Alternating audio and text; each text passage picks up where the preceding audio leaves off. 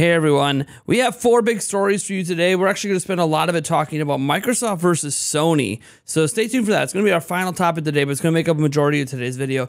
Before we get into this news, however, I want to thank our new subscribers that subscribed just yesterday in Joe Schmo, Stephen Arroyo, and Mario Dima Trova. Thank you so much for subscribing. And because you subscribe this month, you've actually been entered to win a $20 eShop gift card. That's right. All new subscribers in the month of August get entered for an opportunity to win a $20 eShop gift card. If you would like to see your name shouted out and be entered to win that eShop gift card, I would just appreciate if you would subscribe to the channel if you're not already. And don't worry, I didn't forget about everybody else.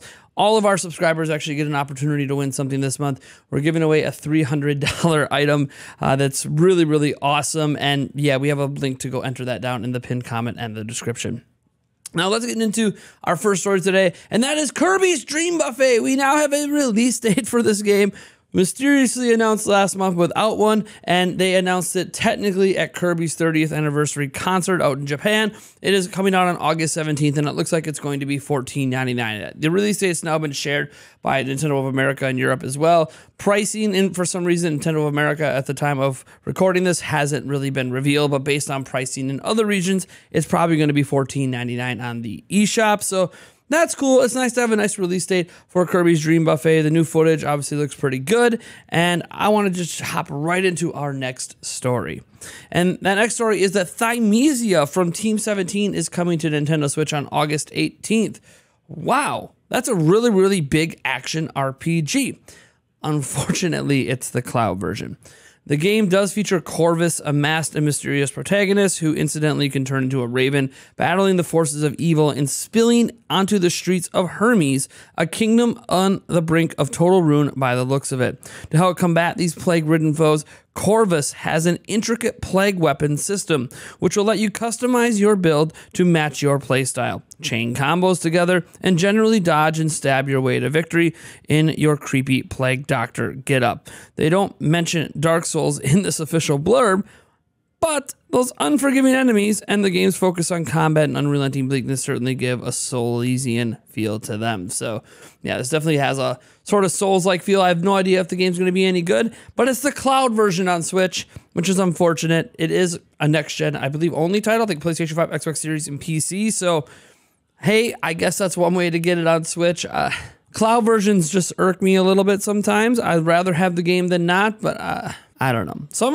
sometimes the cloud versions work out fine, but then sometimes we get Kingdom Hearts and it's an embarrassment. Nintendo of America is unfortunately facing another workplace complaint. If you remember back in April, someone uh, filed with the National Labor Relations Board uh, claiming that Nintendo was preventing them from unionizing. And some of the complaints that led to them wanting to unionize had to do with the treatment of contract employees, treating them unfairly, or, you know, promising advancement opportunities that don't actually exist, and a whole bunch of other stuff, working in poor conditions and having unrealistic demands put upon them. The same sort of labor complaints we see at many, many other companies. And we talked about this at length back in April, but there really hasn't been anything updated since then beyond some former employees coming out and verifying some of that stuff. Well, a new complaint has been filed with the National Labor Relations Board on Monday against Nintendo. And yes, their hiring firm, Aston Carter. So this complaint is lodged against both. And it alleges that the companies established coercive rules and in some way retaliated, discharged, or disciplined a worker for engaging in protected activities with others. Now, for it to be a protected activity, it has to be something that by law cannot be punishable. One aspect that this might be, and I, I, give credit to Eric from the Nintendo Prime podcast for mentioning this, uh, Mike Perez as well. You know, you can't actually fire someone for discussing wages.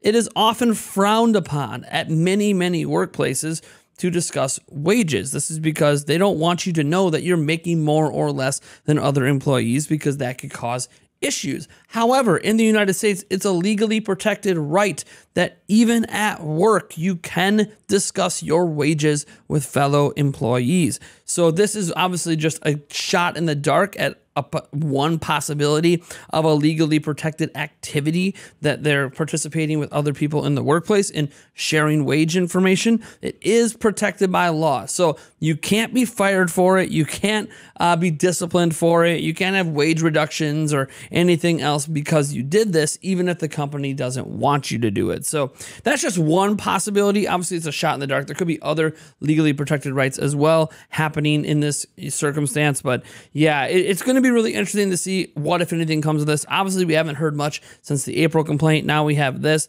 It, what what is clear, and you know, Doug Bowser has responded a little bit, is that there does seem to be a little bit of issues with some of the contract employees, at least being disgruntled for one reason or another, and possibly that Nintendo of America is maybe not giving them the fairest of treatments, or maybe it's not even on them. Maybe it's on Aston Carter uh, not giving them the fairest of treatments or clearly explaining the job before they sign on.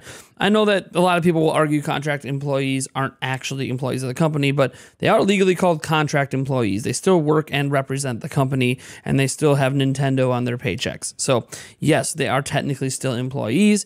Just because you're a contract worker doesn't change that. It just means that you're temporary, right? You're not a salaried employee that's going to be, you know, there until you either quit or the company fires you. You have a contract, it's got terms, it lasts for a certain long time. And then at the end of that contract, you know, both parties have to decide to renew. So, anyways, it's just a complaint. I wanted to throw it out there, you know, get your guys' thoughts on that. Now we get to today's big story because we've known for a while that Microsoft was trying to buy Activision Blizzard for $79 billion. And we knew that it was going to take a long time for this to get approved. And obviously, here in the United States, we were focusing on getting approved by the Federal Trade Commission or the FTC. But Microsoft actually needs to get this approved by 20 different regulation groups in different countries. So even if the FTC, which does look like it's going to approve of the sale, approves of it, it doesn't mean the sale goes through. It also needs to be approved by the European Union. And it actually looks like it's going to be approved by the European Union.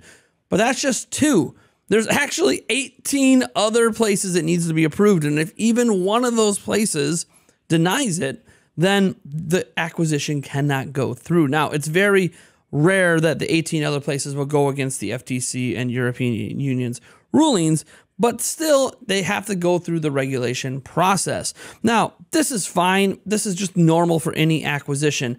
Now, there's one interesting aspect to this because we normally don't hear much out of these meetings. A lot of things are redacted and or just not shared publicly outside of one area. In Brazil, they keep all of these investigations, transgressions, and debates public. Now, there will be a number of redacted information, of course, in these public documents, but they believe in complete transparency with the people of their country and they hide nothing besides obviously very very specific company redacted information that's private information about specific companies so because of this we actually have gotten a deep look at what's happening behind the scenes and it appears that the only company in the world upset about this is Sony Sony is actively trying to block this acquisition, and Microsoft has a specific response to them.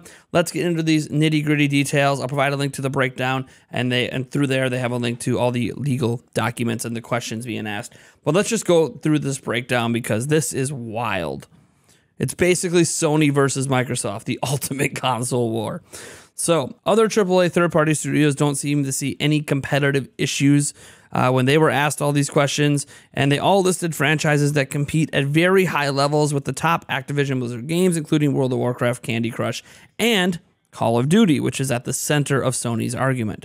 Top tech companies like Google and Apple don't really care about this at all, and they cited gaming is far too large for this to even put a dent in the competitive nature. However, Sony absolutely is trying to block this acquisition. They are going all in. They say, from a development slash publication perspective, Game development typically involves an early stage that is neutral in relation to the platform before the game is adapted for one or more specific platforms. They believe that all games compete for engagement of the player. Players choose their gaming platform based on pricing, technical features, and available game types. The available content is the main factor for the player to choose a platform. They say that there are few barriers to entry in game development and publishing for PC, that only one developer can create an indie game and distribute it online, but creating a high end AAA game like Activision's Call of Duty requires a budget of hundreds of millions of dollars and thousands of employees.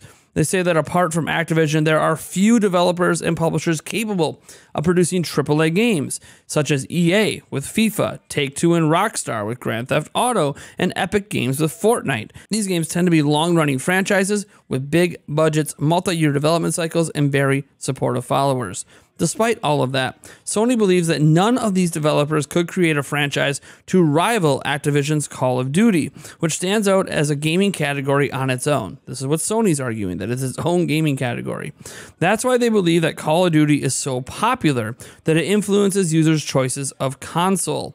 In fact, their network of loyal users is so ingrained that even if a competitor had the budget to develop a similar product, it would not be able to create a rival. They talk about the time, money, and number of employees, millions of followers, sales, and other data points related to Call of Duty to show how it's a very unique franchise that cannot be replaced. They agree that subscription services compete with game purchases for a one time fee, but they think that the lowest upfront cost of subscription services could be anti competitive in relation to publishers who recoup the significant investments in games by selling them for an upfront fee. They also think that this could harm consumers by reducing the quality of the games. They say that over the past five years, Game Pass has grown to capture approximately 60 to 70% of the global subscription service market, and that market share is even greater in Brazil, where the Game Pass represents roughly 70 to 80% of PC subscription service market. They believe that it would take several years for a competitor, even with substantial investments, to create a rival effective to Game Pass. Call of Duty represents an important revenue stream for PlayStation, and they do provide the data, but the data has been redacted. And it's one of Sony Interactive Entertainment's biggest sources of revenue from third parties. Now, Sony is making a lot of claims here that no one can compete with Call of Duty. Call of Duty, Call of Duty, Call of Duty, and Game Pass is anti competitive. Microsoft obviously did not like this and they responded and said, and this is in the documents, only one third party, Sony, presented materially different opinions than the applicants and other third parties consulted by SG, which is the initials for uh, Brazil's group. Sony is isolated in this understanding and, curiously, even contradicts itself in response to the letter, as will be detailed below. Sony's public statements on subscription games and its responses to SG's letter are clear. Sony does not want attractive subscription services to threaten its dominance in the digital distribution market for console games. In other words, Sony rails against the introduction of new monetization models capable of challenging its business model. Stating that Call of Duty has a loyal following is a premise from which does not follow from the conclusion that the game is a gaming category per se. Sony's own PlayStation, incidentally, has an established base of loyal players. Such a finding, however, does not lead to the conclusion that PlayStation, or any branded product with loyal customers, is a separate market from all other consoles. Extrapolating from such a finding to the extreme conclusion that Call of Duty is a category of gaming per se is simply unjustifiable under any quantitative or qualitative analysis. Microsoft also added some additional claims on why Sony is wrong, stating that it's not part of Microsoft's strategy to remove content from players, and Call of Duty will still be on PlayStation as a paid title. And we know this for a fact because there's a contract in place for at least the next three titles to be there. Data shows that players see subscription services as only one way to pay for games. Sony's claim ignores the dynamic nature of subscription services and the fact that Sony actually has its own subscription service And then there are numerous other game distribution channels and subscription services, many of which include content that isn't available on Xbox. Microsoft also claims that arranging exclusivity deals has been at the heart of Sony's strategy to strengthen its position in the games industry, and that as well as having its own first party exclusives, it also has exclusive exclusivity deals with third party publishers. Notably, for this sale to be approved, obviously it needs to be approved by all 20 regulating bodies. Now, it's not really shocking to see that Sony is the main proponent trying to block this and nobody else really seems to have an issue with it. Sony does obviously see a significant portion of revenue from Call of Duty every single year as maybe the top third-party published game on their platform in terms of revenue, both shared revenue from game sales, then obviously all the microtransactions and DLC and everything else. I I, kind of look at this as an interesting perspective of Sony, the old guard, versus Microsoft, the new guard, where Microsoft's trying to do something new and Sony just doesn't like it. it it's really interesting because Sony has already spoken at length publicly about how they can't make a competitor with Game Pass. They just can't which they could, but it would require a type of sacrifice that requires a lot of money and sunk costs that yeah, a lot of companies really can't afford to do. Microsoft obviously can, but so could other companies. And there are other subscription services. It is true that Game Pass is probably the biggest of them, of course. So I, I, do find this to be quite fascinating that Sony and Microsoft are essentially going at each other in a legal way because Sony really, really does not want the Activision Blizzard acquisition to go through. They view nothing positive from it because even if the games stay on PlayStation, Sony is extremely afraid that they would lose some of their consumer base to Game Pass because it would become day and date on Game Pass. And there's lots of accusations in these documents that Sony's actually blocking some games from coming to Game Pass because it views Game Pass as too much of a competitor. So they're paying companies to not put their games on Game Pass, not to block them from Microsoft, but to not have them on Game Pass. I, I find that to be a rather fascinating take, and it shows at least bare minimum, because let's say the regulators approve all of this anyways, it shows bare minimum that Sony is deathly afraid of what Game Pass is doing. And that is very strange for a company that has a very strong market of its own. They should be pretty confident in what they're doing and be making strides, if not to compete with Game Pass, to at least maybe make Game Pass not be this defining element that's going to make people leave. It just kind of sounds like Microsoft has a really, really cool idea Sony's jealous of that idea, and so we want to block everything. This this seems to go well beyond just Activision Blizzard, but Sony being really really salty over Game Pass's existence. So I find this to be rather interesting. I want to know your guys' thoughts, obviously, on all this down in the comments below. This is literally the ultimate console war. This is, you know, get rid of the friendliness of Sony congratulating success of Game Pass and, and Microsoft congratulating Sony on the success of PlayStation 5 and this is beyond the public statements. This is what the companies are really doing to each other behind the scenes. Microsoft is trying to get this sale approved and really pushing Game Pass, and Sony hates Game Pass and hates that this sale's even on the table because they're worried about losing revenue themselves. This is all a bunch of e-peening over money, and it's hilarious to me watching these multi-billion dollar companies go at it. Of course, Microsoft significantly bigger than Sony, but it is funny watching these two gaming divisions at least go at it behind the scenes. And as a innocent bystander, as a Nintendo fan, it's whatever.